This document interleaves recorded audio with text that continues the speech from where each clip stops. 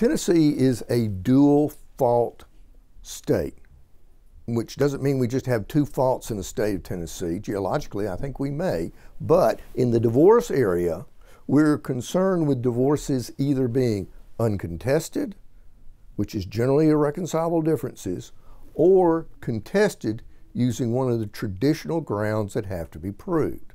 You have to go uncontested or contested. In, in either way, there are certain requirements you must fulfill.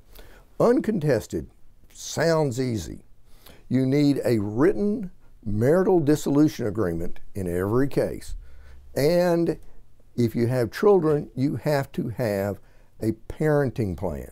Both these documents have to be in writing, signed off by both spouses, and approved by court. Now, that's usually a very short hearing with the court pretty much saying grace over what you can agree to.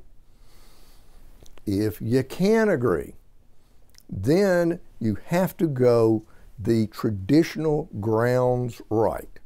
Let me put this in context. You have to, under, to understand it correctly, you have to understand the history.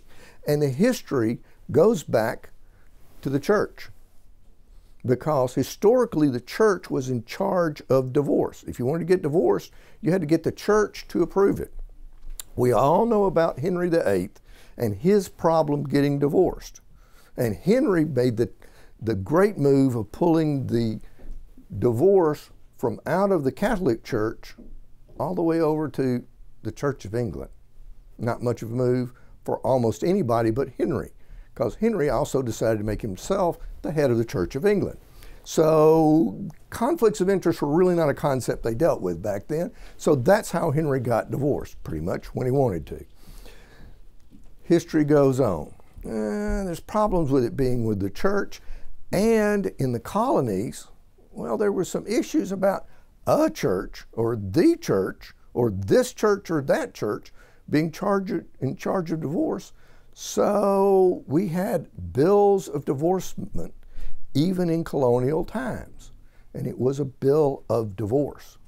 Quite truly, the legislature granted divorces. Thomas Jefferson, that great intellect, was one of America's early divorce lawyers. He presented to the House of Burgesses why his client should be divorced. And he did a wonderful job of researching all the religious reasons why people should be divorced in the Christian context. And that's what he presented to the House of Burgesses uh, in the divorce case. We don't descend from Virginia, but we descend from the state right below it, North Carolina, which pretty much did the same thing Virginia did. And the legislature was in charge of it. Tennessee descended from North Carolina. The legislature dealt with it, and one of the first things the legislature figured out is we don't want to do this and they dumped it on the courts. And it's been with the courts ever since. And it started with the courts in this vague, amorphous world of equity. And the court was supposed to do what's right. Well, you know, the problem with doing what's right, your idea of what's right and your idea of what's right, are those the same ideas? No. No. Not nearly right. So you had all these chancellors making all these different decisions, and the legislature said, well, wait a minute, we got to straighten this out or it's going to come back on us. So they started articulating grounds for divorce. Okay? If all this sounds archaic and moralistic, it, that is because it is. Okay? So, so if you're thinking that can't be right because it's this moralistic, archaic thing, yes, that is right. So, with that, they started adopting, articulating grounds for divorce.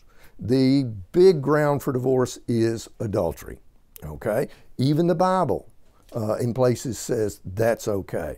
Now, you've got adultery, habitual drunkenness or abuse of narcotic drugs that has been contracted since the marriage. An interesting defense to that is when the uh, spouse comes in and says, my husband is a drunk. Uh, the interesting defense is for husband's attorney to come in and say, yep, he's a drunk, always been a drunk, probably always will be, but he didn't contract it during the marriage. She married him full well knowing he was a drunk and actually used to drink with him. Uh, now, this is the closest we have to a no fault ground that isn't irreconcilable difference. It's living separate and apart for two years with no minor children. Interesting history to that was it was in the legislature. There was a guy in the legislature who couldn't get divorced, didn't have grounds. Wife wouldn't sign a marital dissolution agreement, and so he proposed to the legislature that one year separate apart, no minor children, you got divorced. His buddy in the legislature wouldn't pass it. Then the next year he introduced two years separate apart. They still wouldn't pass it. Then he introduced three, and they were tired of hearing about it, so they passed it. Then after a few years, they cut it back to two. So two years separate and apart, no minor children. All you got to do is prove that to a judge. That's pretty simple, and then you can get divorced. There are other grounds such as willful and malicious desertion for one year, conviction of a felony and sentencing to the penitentiary, uh, willful, and this one, Tennessee is a very egotistical state. We think we are great, okay? We think we are so great that one of the grounds for divorce is that you have moved to Tennessee, you have been in Tennessee for one full year and your spouse won't move here with you. Okay? Can any state think more highly of themselves than that? That's another one of the grounds for divorce. There's some interesting ones like uh, impotency, sterility, bigamy. Bigamy becomes interesting from time to time. Uh, indignities offered by one spouse to the other, that's uh, called general indignities abandonment and refusal to uh, or neglect to provide for the spouse, even though you're able to do. But if you want the list of divorce grounds, go to our website, aboutdivorce.com, and go to the pull down tabs, and you'll get the list there. Now, one of the things about grounds, there are also defenses. Again, if you go to the website, you get more complete list of them. But one of the things you've got to look out for is condonation. That applies to adultery. It applies in this way if you know of your spouse's adultery and you forgive it, you've condoned it. Tennessee is a very practical state, and they defined real forgiveness in almost all cases uh, with did you have sex with him again? And if you did, by and large, the cases say that's the end of the discussion. So, another one is insanity. Now, you might think of insanity as a grounds for divorce, and it is in some states. In Tennessee, though, it's a defense, but you've got to prove it to a very high standard. So, that's an overview of grounds for divorce. And in the world of divorce, grounds is your ante at the beginning of the game.